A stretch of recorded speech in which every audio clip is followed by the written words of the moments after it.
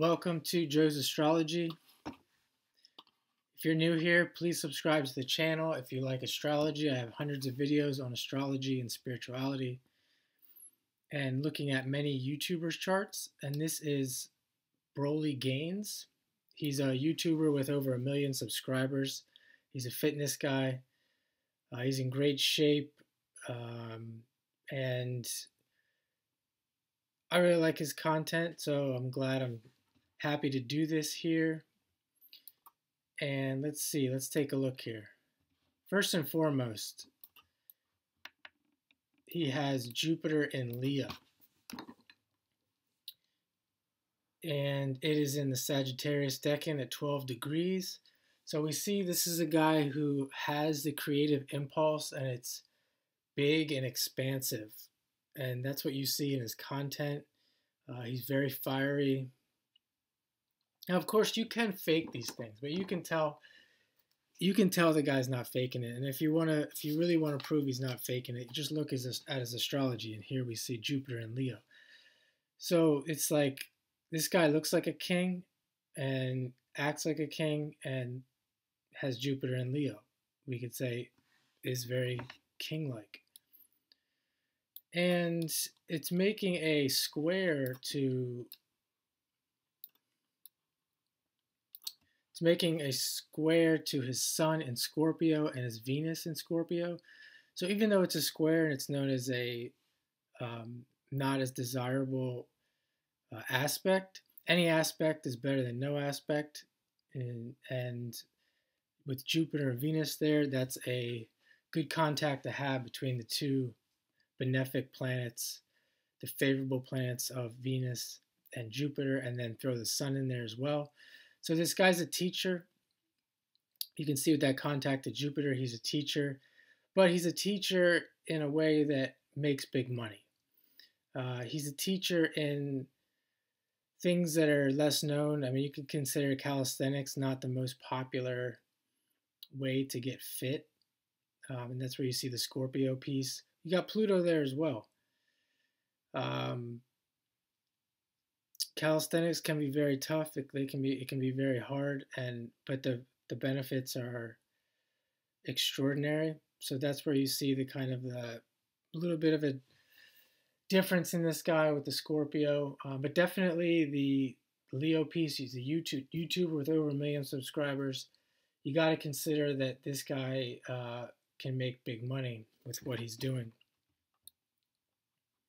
And he has a stellium there in Scorpio. Uh, so you know, is he, he could he be considered a, a, a sex symbol for sure? And that's part of his success is that um, the guy has great sex appeal, and that's what we see here with with all those planets here in Scorpio, particularly also um, making contacts to Pluto there.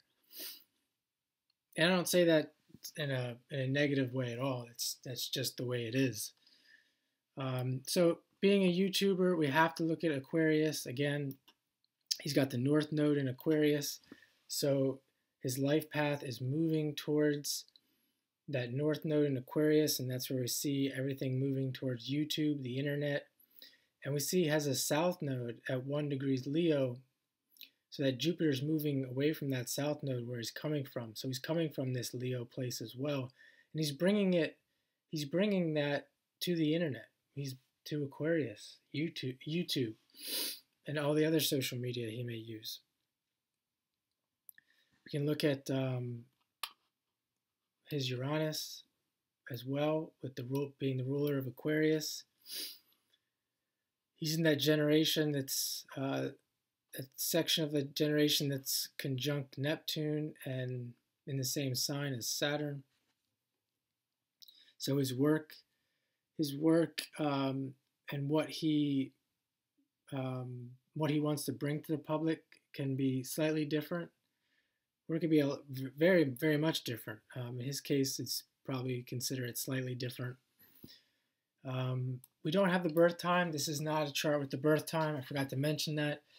So the houses are not correct. And the moon is going to be a little bit off, but it looks like it could be in a close opposition to that Uranus. So we see Uranus making a aspect to the moon, making it have the uh, similarity to a Aquarius moon. We see it's making a contact as well to the Mars and to the um, and in conjunct to that Jupiter in Leo as well.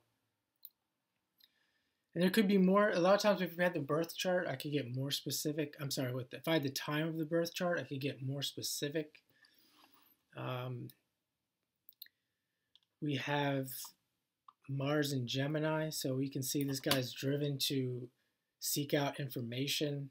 You can see him kind of leading towards uh, more getting deeper into health and information and the food aspect and things like that, and maybe even spirituality or self actualization, teaching, and things of that nature. And it's retrograde, so it's showing that he's done this before. He's um, doing some, redoing something in this life. So, uh, I mean, so everyone, everyone watching videos like that, we think we can be like them, and for sure we can make improvements but more likely than not, we won't. You know, you see people commenting like, "Is this guy on steroids?" etc. And this is where you see, you really see the way spirituality works and energy and and how with this guy and this guy's life, it's not. This is not something new for him. It's something he's been doing for a long time. And if you don't believe in reincarnation, check out my videos on reincarnation. Um, you know, if you don't believe in reincarnation or you don't understand understand it or have any knowledge of it, you, you might not agree with what I just said there, but that's how this, that's, it's a big piece of astrology and that's how this whole thing works. But moving on, let's get into this moon. He's got moon in Cancer and he has all that water in Scorpio and it's making a trine. That's the easy aspect, the harmonious aspect, the pleasing aspect.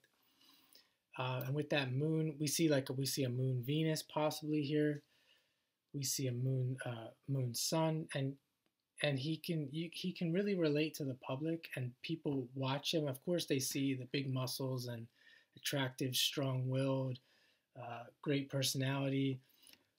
But he also comes across as he's as a nurturer and someone who cares. Like he's he's producing his content because he cares for the public.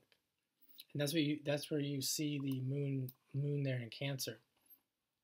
And you, if you haven't seen my videos on Moon and Cancer, check out, uh, I'll actually link that to the end of this video uh, with a description of Moon and Cancer, a deeper description of Moon and Cancer.